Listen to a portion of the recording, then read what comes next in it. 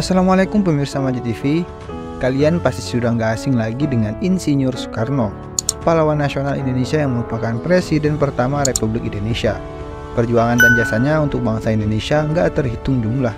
Bahkan kehebatannya nggak hanya terkenal di dalam negeri namun sampai internasional. Itulah sebabnya biografi Insinyur Soekarno sangat menarik untuk dibahas dan diketahui oleh generasi bangsa Indonesia saat ini. Sosok Soekarno memiliki tempat tersendiri bagi masyarakat Indonesia dan memberikan banyak teladan bagi bangsa. Banyak tenaga, pemikiran, bahkan jiwa dipertaruhkan oleh Soekarno untuk Indonesia. Mulai dari melawan penjajahan sampai membangun bangsa ini menjadi seperti sekarang. Soekarno ini menjadi tokoh penting dalam sejarah Indonesia yang akan terus terkenang jasa-jasanya.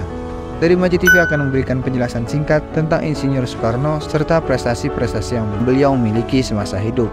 Penasaran kan apa saja prestasinya? Tonton video ini sampai habis dan jangan lupa untuk terus dukung channel Masjid TV dengan like, subscribe, serta komen kalian. Dan tentunya share video ini agar pemirsa Masjid TV lainnya bisa menikmati konten ini.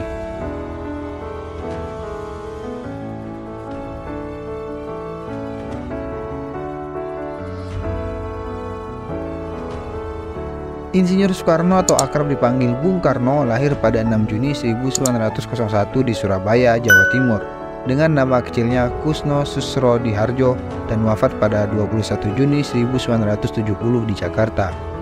Bung Karno adalah anak dari pasangan Raden Sokemi Sasro Diharjo dan Ida Ayu Nyomanrai. Karena sakit-sakitan, Soekarno kecil dirawat kakaknya bernama Raden Harjo di Kromo di Tulungagung. Soekarno kembali tinggal dengan bapak dan ibunya pada tahun 1909 di Mojokerto. Di Mojokerto itulah sang ayah ditugaskan sebagai kepala RST Inland School dan Soekarno pun sekolah di tempat itu. Sejak tinggal kembali bersama orang tuanya, Soekarno mengganti namanya dari Kusno menjadi Soekarno karena dirinya tidak sakit-sakitan lagi dan dapat tumbuh dengan sehat. Sejak kecil, Soekarno sudah menjadi anak yang berprestasi, bahkan mampu menguasai banyak bahasa. Inilah sebabnya kecerdasan Soekarno dikenal oleh dunia.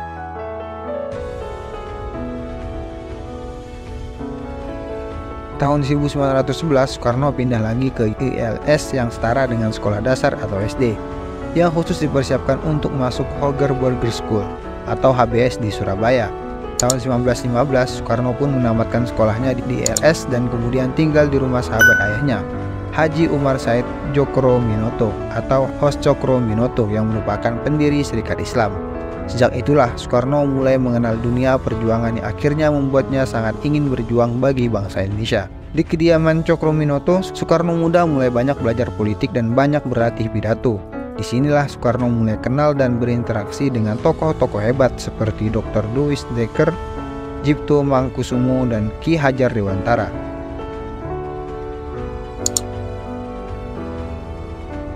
Bersekolah di HBS memberi banyak pengalaman dan pelajaran bagi Soekarno hingga akhirnya lulus di tahun 1921.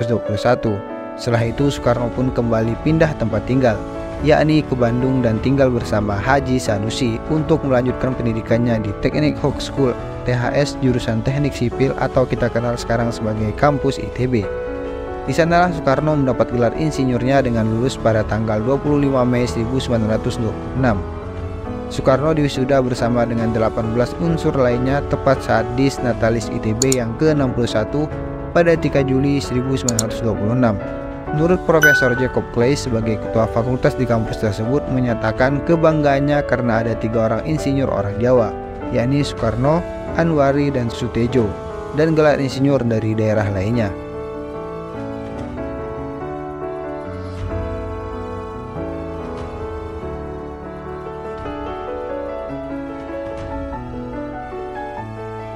Di masa hidupnya, Soekarno telah menikahi sejumlah perempuan, yakni Fatmawati, Hartini, Ratnasari Dewi, Kartini Manopo, Haryati, Yuri Kesanger, dan Heldi Jafar. Atas pernikahannya inilah Soekarno dikaruniai 11 orang anak sebagai keturunan Soekarno dan pada akhirnya juga ada yang mengikuti jejak sang ayah di dunia politik Indonesia yakni putrinya yang bernama Megawati Soekarno Putri yang pernah menjabat sebagai Presiden kelima Republik Indonesia. Perlu pemirsa Majid TV ketahui ya bahwa kehebatan Soekarno nggak hanya di dalam negeri melainkan juga diakui dunia. Semasa hidupnya Soekarno telah memperoleh banyak penghargaan dari gelar doktor honoris causa dari 26 universitas di dalam negeri dan luar negeri. Banyak penghargaan yang Soekarno punya selama kiprahnya di dunia politik terutama perjuangannya atas kenegaraan ini. Berikut ini daftar penghargaan yang dimiliki Soekarno semasa hidupnya yang perlu pemirsa Majid TV ketahui.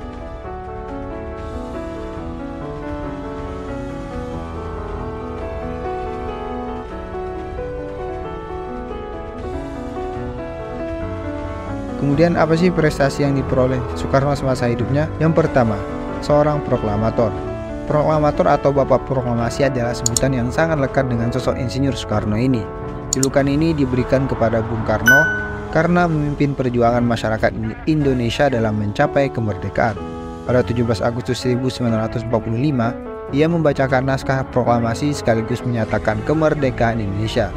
Tokoh kelahiran 6 Juni 1901 itu terkenal akan pemikiran-pemikirannya yang kritis mengenai penjajahan dan nasionalisme. Sejak remaja, Soekarno bersama para tokoh lainnya lantang menyuarakan penolakan terhadap penjajahan.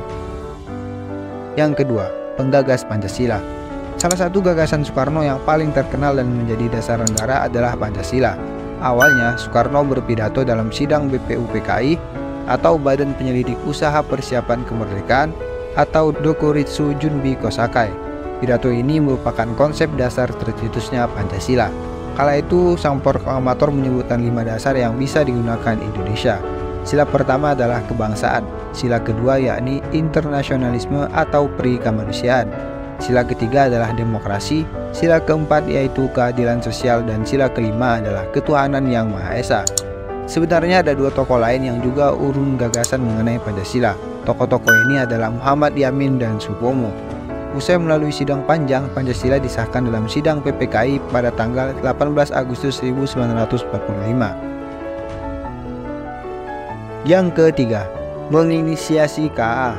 Konferensi Asia Afrika atau KAA menjadi sejarah baru yang terukir di dunia pada era 1950-an.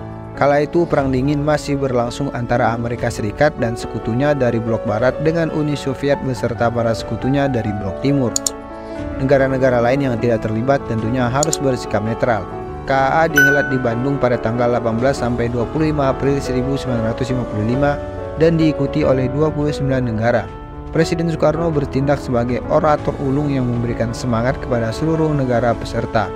Hasil dari konferensi tersebut adalah Dasar-Sila Bandung yang berisi 10 poin pertemuan tersebut dan seluruhnya mendukung kedamaian dan kerjasama dunia. Dengan adanya konferensi Asia Afrika ini, skala geopolitik dalam perang dingin dan kerjasama multilateral antara negara-negara di Asia Afrika bisa lebih dimasifkan.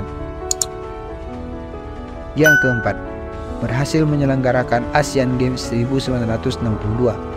Soekarno juga berhasil menyelenggarakan Asian Games 1962 sebuah pesta olahraga terbesar di Asia yang dalam ajang tersebut ada 17 negara peserta dengan 1545 atlet dan 501 ofisial. Untuk mempersiapkan pesta olahraga 4 tahunan ini, Bung Karno mendirikan patung selamat datang di bundaran Hotel Indonesia. Patung ini khusus disediakan untuk menyambut para tamu negara yang hadir pada Asian Games 1962. Patung yang juga menjadi salah satu ikon Jakarta ini didesain oleh Heng Ngantung dan dibuat oleh seniman patung asal Yogyakarta, Edi Sunarso. Selain patung selamat datang, fasilitas lain yang juga disiapkan adalah Hotel Indonesia, Jembatan Semanggi, dan Gelora Bung Karno atau GBK. Inilah biografi singkat serta empat prestasi yang dimiliki oleh Soekarno semasa hidupnya. Bagaimana pemirsa Baji TV? Menarik kan kalau kita ulas tentang Insinyur Soekarno karena sebentar lagi akan masuk tanggal 17 Agustus sebagai Hari Kemerdekaan Indonesia. Dirgahayu Indonesia, Indonesia merdeka, merdeka, merdeka. Semoga bermanfaat. Assalamualaikum warahmatullahi wabarakatuh.